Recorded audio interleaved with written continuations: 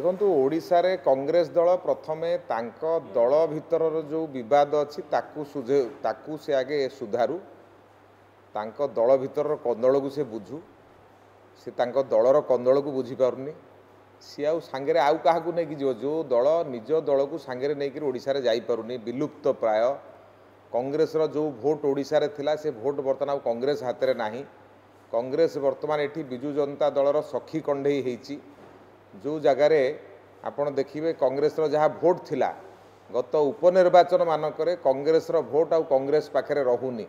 ବର୍ତ୍ତମାନ କଂଗ୍ରେସ ଓଡ଼ିଶାରେ ବିଜୁ ଜନତା ଦଳର କ୍ରୀଡ଼ନକ ହେଇଛି। ବିଜୁ ଜନତା ଦଳକୁ ଜିତେଇବା ପାଇଁ ଏଠି କଂଗ୍ରେସ ସହାୟକ ହେଉଛି।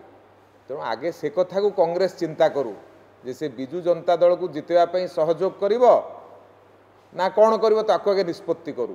ତ ସେ ନିଷ୍ପତ୍ତିରେ କଂଗ୍ରେସ ପ୍ରଥମେ କରିବା ଦରକାର।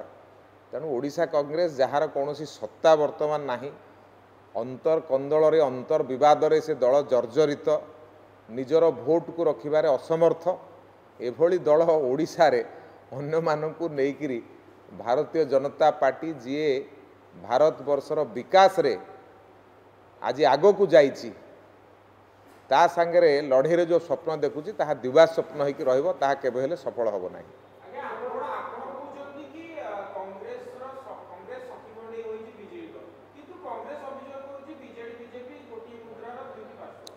ଦେଖନ୍ତୁ ଓଡ଼ିଶାରେ ଯେତେ ଗୁଡ଼ିଏ ଉପନିର୍ବାଚନ ହେଇଛି ଆପଣ ଦେଖନ୍ତୁ ଉପନିର୍ବାଚନରେ ଆପଣ ଦେଖିବେ ଗତ ଦୁଇ ହଜାର ଉଣେଇଶ ନିର୍ବାଚନରେ ଭାରତୀୟ ଜନତା ପାର୍ଟିର ଭୋଟ ଯାହା ଥିଲା ପ୍ରତ୍ୟେକ ସ୍ଥାନରେ ଭାରତୀୟ ଜନତା ପାର୍ଟି ତା'ର ଭୋଟ ବଢ଼େଇ ଚାଲିଛି ଧାମନଗର ଜିତିବା ସହିତ ଅଲଗା ଜାଗାରେ ଆମେ ଆମର ଭୋଟକୁ ବଢ଼େଇ ସାରିଛୁ କିନ୍ତୁ କଂଗ୍ରେସ ସବୁ ଜାଗାରେ ତା'ର ଭୋଟକୁ ହରଉଛି।